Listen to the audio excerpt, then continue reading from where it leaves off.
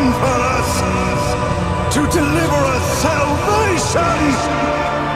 We must repent and repent.